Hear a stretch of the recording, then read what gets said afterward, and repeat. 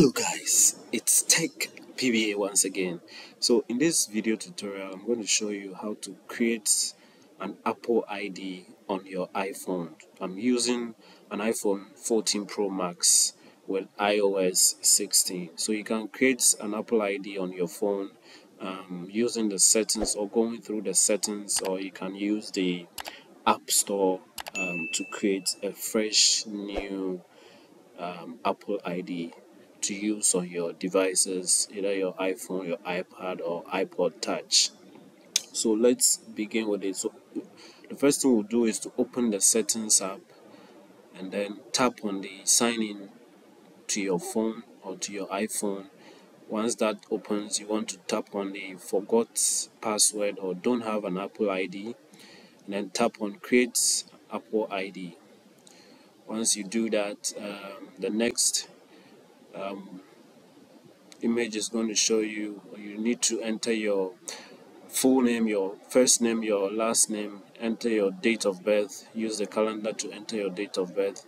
And then you you want to enter your email address a valid email address type a new password a fresh new password you are going to use with your apple id and then tap continue once you are done typing your password once that is done, you want to enter a phone number, a valid phone number you can use to verify or Apple will use to verify your account with.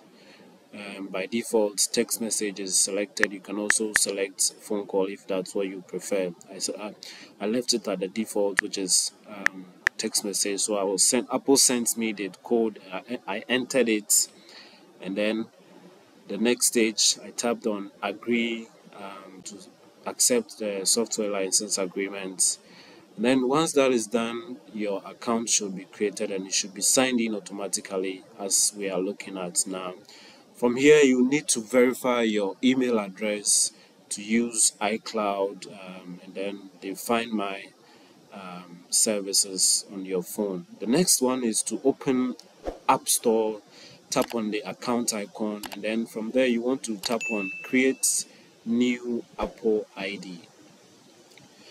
And then once you tap on that, um, you want to enter your email address, enter a new password, verify the password, and then um, once you do that, just as we did with the settings app, tap on the agree terms and agree to terms and conditions, and then tap next um, to create your Apple ID in the App Store.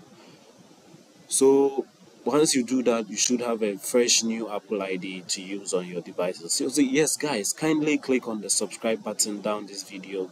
Click on the like button share this video and then i will see you in another video. Thank you.